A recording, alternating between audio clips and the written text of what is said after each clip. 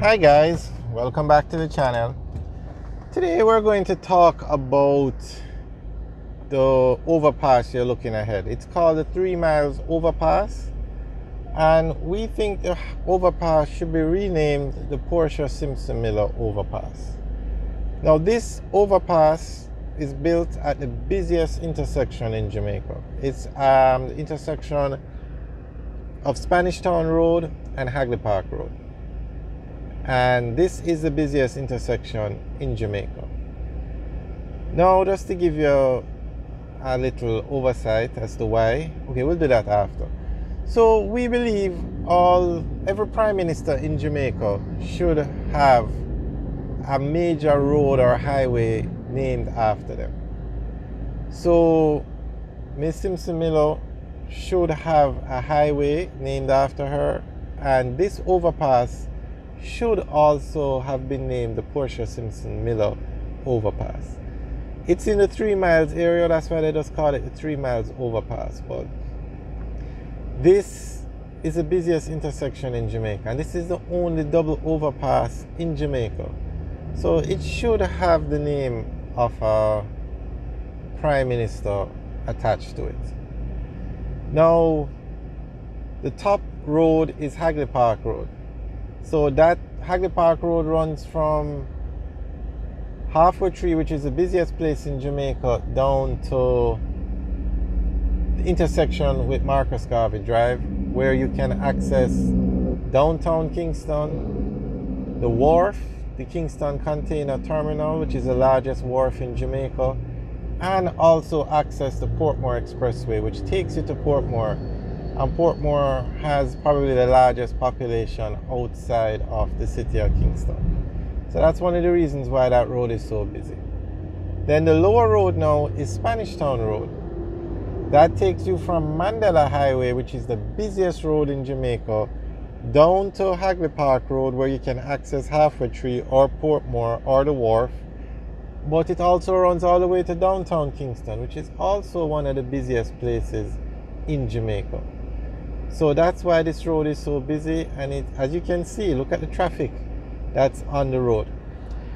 So the traffic con- congestion at this intersection was awful, terrible. So that's why they decided to build this overpass here. And there was a park or a square at the origin, um, before the overpass was built, there was a, a park or a square called the Portia Sun, the Simpson Miller Park, or it was the Simpson Miller Square, but it was named in honor of the former Prime Minister of Jamaica. But when the overpass was built, the park was removed to build the overpass, and it's only fitting that that the overpass should be renamed the Simpson Miller Overpass. So, guys, let us know what you think. And those of you who watch the channel regularly know that we are not a political channel. We don't talk politics, but we do talk about roads. And it's just a coincidence that we're talking about the naming of the road. That's why we are talking about politicians. All right, so this is the Spanish Town Road overpass we're on now, and the road above it is the Hagley Park Road overpass. And this road was built by China Harbour Engineering Company. The overpass, sorry, was built by China Harbour Engineering Company. And it's a very nice overpass, the only double overpass in Jamaica, and it's built at the busiest intersection in Jamaica. So, guys, let us know what you think about the renaming of these roads and this overpass to honor the prime ministers or former prime ministers in Jamaica. Now, we have this is not unprecedented because we have highways named after former prime ministers already. We have the PJ Patterson Highway that runs from Kingston to Montego Bay. We have the Edward Seaga Highway that runs from Kingston to Ocho Rios, and we have the Bustamante Highway, which is in Clarendon, and we have the Norman Manley Boulevard in Westmoreland in Negril, and we have the Michael Manley Boulevard that takes you from downtown Kingston to the airport. We also have roads named after governor generals. You have Sir Florizel Glasspool Boulevard um, out in Harborview. You have Howard Cooke Boulevard in Montego Bay. So this is not something new. This just we just need to speed up the process because every prime minister should have a highway named after them or a main road. And it's not only in Jamaica, it happens all over the world. A lot of countries do it. Some countries even have airports named after them, they have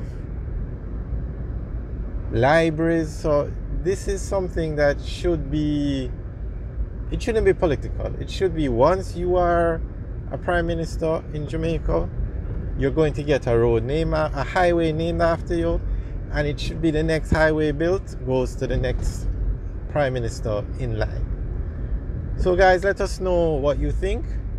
Leave your comments in the section below. All right, guys, have a good day.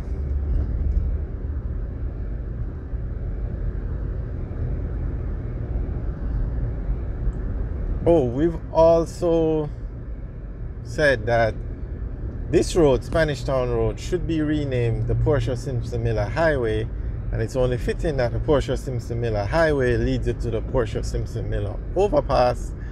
And we've also said that Washington Boulevard should be renamed the Bruce Golding Highway. And we've also said that Mandela Highway, the busiest road in Jamaica, should be renamed the Andrew Holness Highway. So we are for naming all the main highways and roads in Jamaica after former prime ministers. And as we said, once you are a prime minister, it should be automatic that a highway is named after you because it shouldn't be political, basically. So if you know you're a prime minister and another highway is being built, because there are so many highways being built in Jamaica, you know automatically the next available highway goes to the next prime minister in line. Alright, guys, let us know what you think. Remember to like, share, and subscribe. Have a good day.